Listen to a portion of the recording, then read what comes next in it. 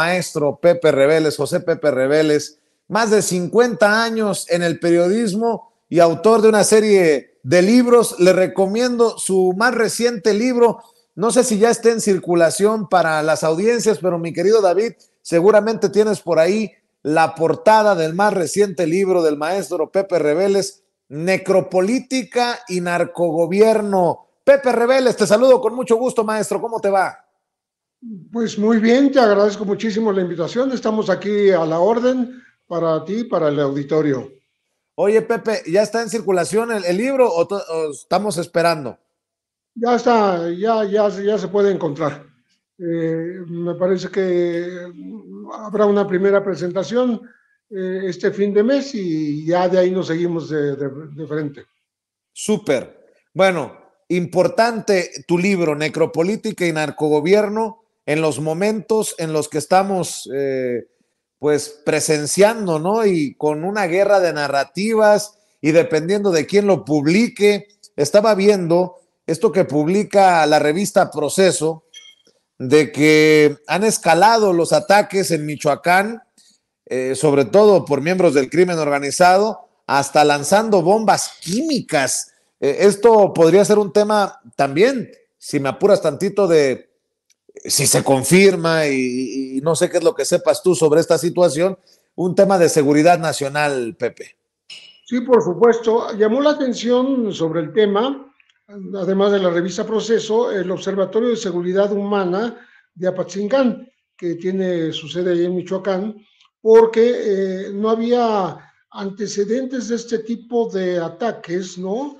Que además se, eh, se arrojan por con drones, ¿no? Eh, este, estos ataques químicos eh, parece que son sustancias mm, relacionadas con pesticidas, porque lo que provocan son eh, sensación de asfixia, ¿no?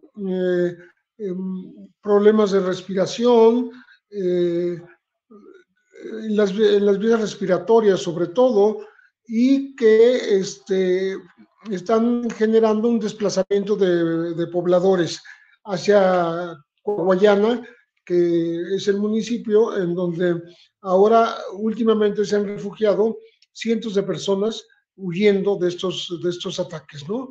Eh, tanto la revista Proceso como eh, la organización Conectas eh, han visitado la zona y, han, y se han percatado de que eh, los desterrados por el narco, eh, este desplazamiento forzado eh, está, está generando nuevos episodios de desplazamiento. Por lo menos 500 personas más se han sumado a estos desplazamientos y lo grave es que tanto el cartel Jalisco Nueva Generación como la familia michoacana están eh, victimizando, pues están mm, causando daños en la población de eh, estos pobladores que están cercanos a, Colima, ¿no? En, eh, en Coahuayana, en Chinicuila, en Aquila, ¿no? y particularmente en, en, este, en comunidades como El Órgano, como Zapotán, como Palos Marías que, que son las que sufren este desplazamiento y no hay demasiada posibilidad de defensa por parte de Guardia Nacional que no llega hasta estos rumbos, ¿no?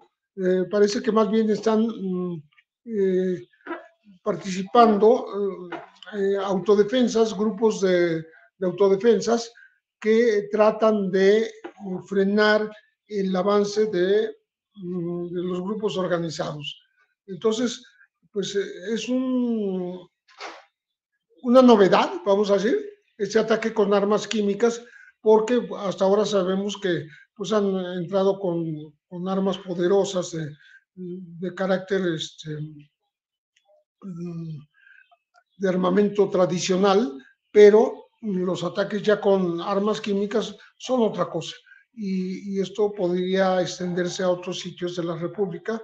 Por lo pronto están solamente en Michoacán.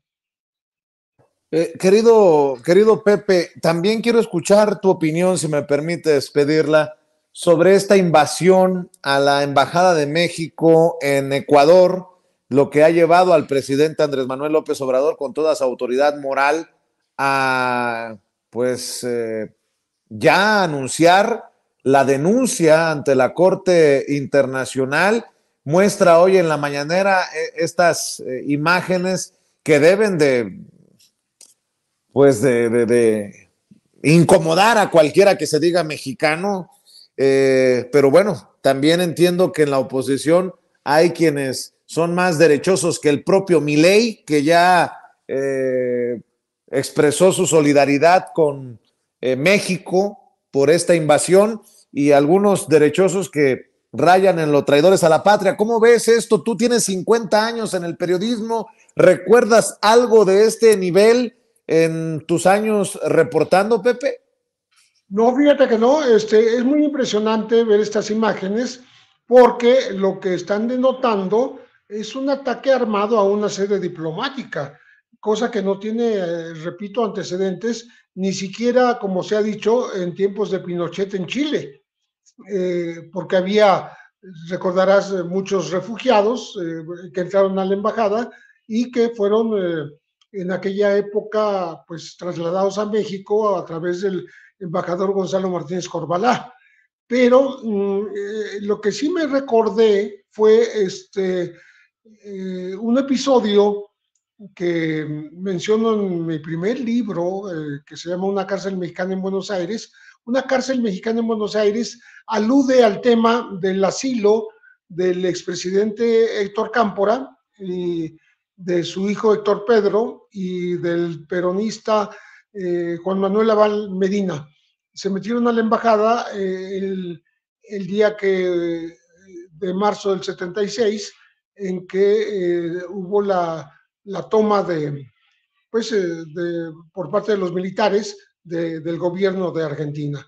Pero no había antecedentes, y es lo que trata el libro, de un asilo tan prolongado desde Raúl Aya de la Torre, que este, se refugió en la embajada en, Perú, este, muchos años antes, en los 50, y este, este asilo de, de Juan Manuel Aval Medina duró seis años. O sea, muchísimo tiempo, ¿no?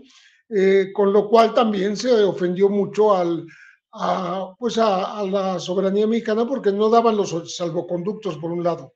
Y por el otro se publicó en Argentina cómo les tomaron fotos con, con cámaras, con alcances, con telefotos a los asiliados en la embajada, lo cual hizo pensar que podían haber también atentado contra ellos con un, un rifle con mira telescópica.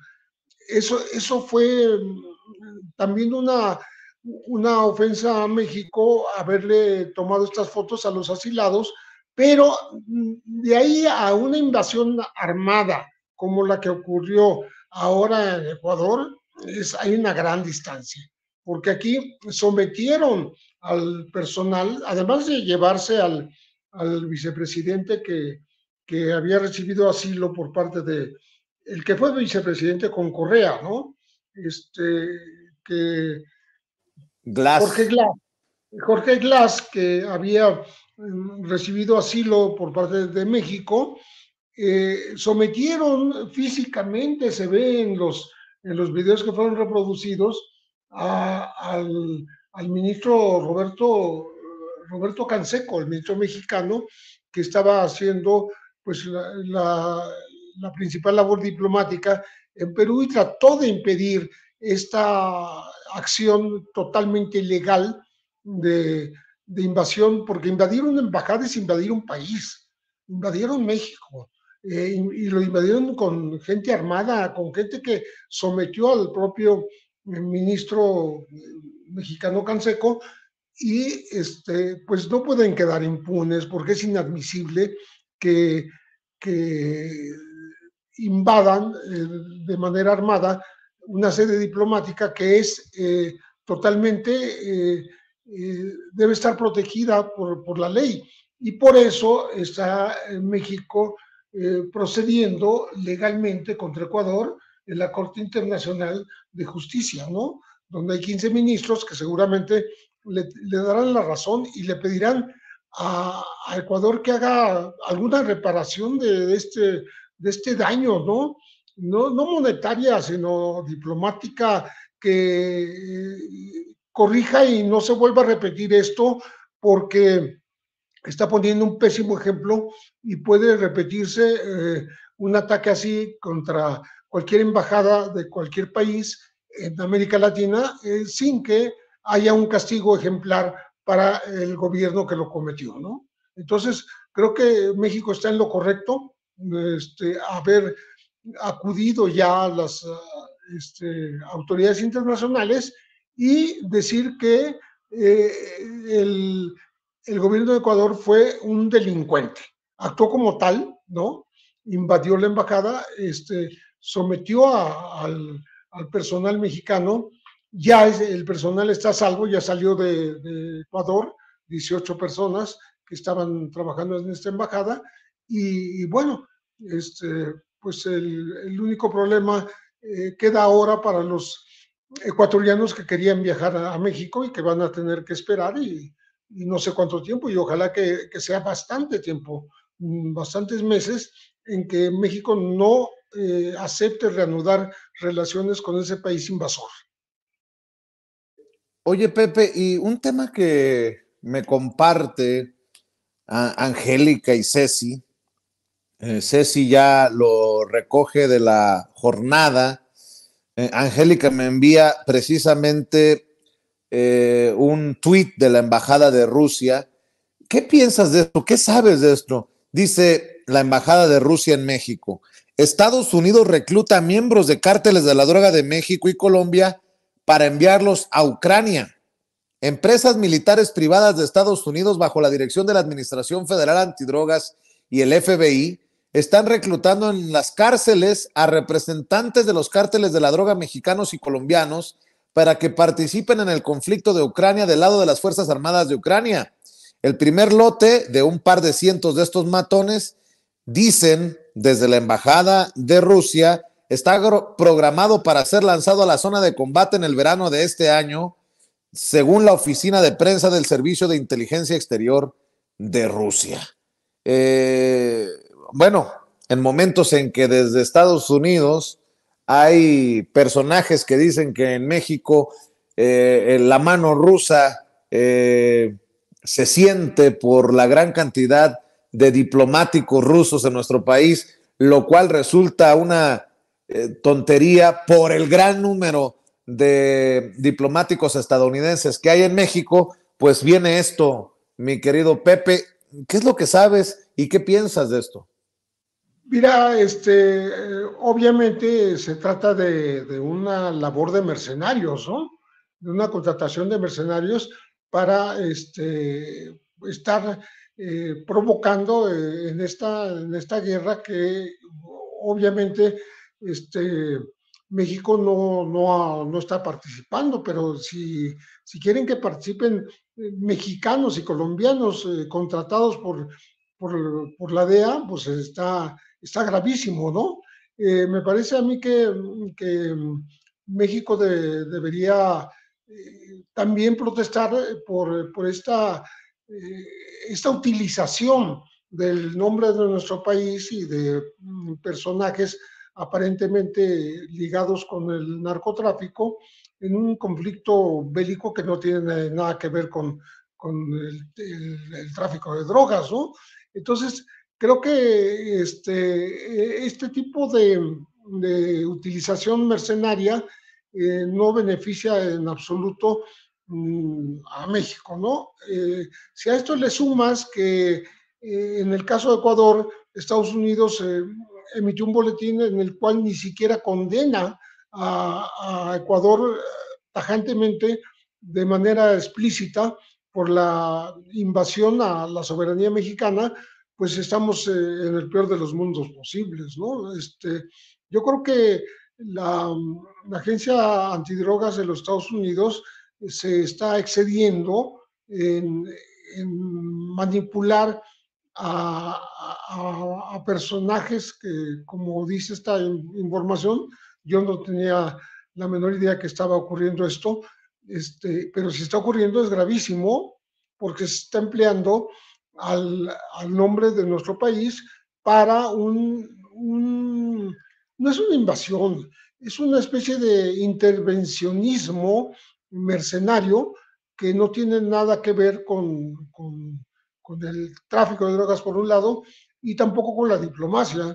Es simplemente fuera de, toda ley que alguien esté manipulando a personajes mexicanos y colombianos para utilizarlos en, un conflicto internacional que no tiene, que, en el cual México no tiene ni, ninguna injerencia, ¿no? Y que se ha abstenido justamente de eh, tomar partido eh, en, favor de alguna de las de, alguna de las partes en esta guerra que ya que ya lleva muchos muertos, que ya lleva eh, este, que no, no tiene para cuándo retroceder esta, esta invasión a, a Ucrania con pretextos que, que pueden ser este, muy sofisticados, pero que no se justifica de ninguna manera. ¿no? Entonces, este, creo que nos están metiendo en un asunto que no nos corresponde, que no nos toca y que tampoco este, somos responsables y, y tampoco vamos a, participar con este, un, unos, unos mercenarios este, tomados de la delincuencia organizada, imagínate. eh, creo que están todos los males eh, conjuntos ahí este, em, convergiendo en, una, acción bastante, rara, bastante extraña, que no ayuda para las relaciones internacionales de nuestro país. Mi querido Pepe, me, da mucho gusto saludarte. Eh, te agradezco siempre tu amabilidad, tu compromiso con las audiencias como la de Sin Censura. Y a mí no me queda más que decirle a la audiencia de Sin Censura que te lean.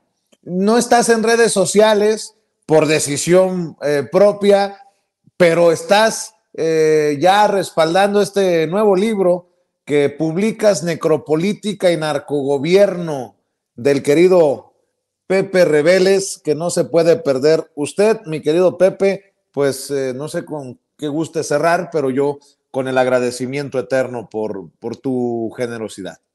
No, pues eh, cerrar justamente con un, eh, con un saludo, un agradecimiento a, Sin Censura y tenemos la, el compromiso de estar la próxima semana y este, pues tratando de abordar los temas que le interesan a la gente, eh, que se preocupa por lo que pasa en México y en el mundo también, ¿no?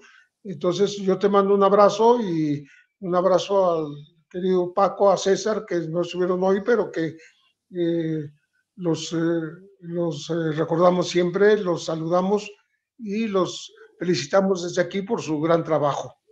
Claro que sí. Te mando un abrazo, Pepe. El querido José Reveles hablando con nosotros sin censura. Cuídate, Pepe. Muy buenos eh, días. Hasta luego, Vicente. Gracias, el maestro Pepe Reveles hablando con nosotros sin censura. Eh, le quiero mostrar cómo Tatiana Cloutier, una mujer comprometida con el segundo piso de la transformación, defiende, defiende los resultados y el trabajo que viene haciendo desde abajo la doctora Claudia Sheinbaum rumbo al 2 de junio, eh, porque también las mujeres pueden. Hay quienes dicen que los eclipses afectan la personalidad de las personas. A mí no me cabe la menor duda que así fue, especialmente con la candidata del PRIAN. Por un lado, dijo ayer en el debate una sarta de mentiras, pero la que se llevó, la de todas, fue diciendo que en el 2018 la gente votó por un cambio y esperanza y que esto no sucedió. Ah, caray, se le olvida que el salario mínimo en este sexenio, gracias al trabajo coordinado del empresariado mexicano, de los trabajadores y trabajadoras y del gobierno federal, aumentó un 110%, es decir, pasó de 88 pesos a 248. Por otro lado, se eliminó en el Congreso a propuesta del Ejecutivo Federal el outsourcing. ¿Qué quiere decir todo esto? Quiere decir que a la gente se le empezó a repartir las utilidades y esto llenó los bolsillos de los trabajadores y permitió que la economía creciera. Y por último, el Coneval, para que no digan que son los números de Tatiana. El Coneval dijo que la pobreza disminuyó en 10 millones de personas y que la pobreza extrema cambió la vida de 5 millones 100 mil personas.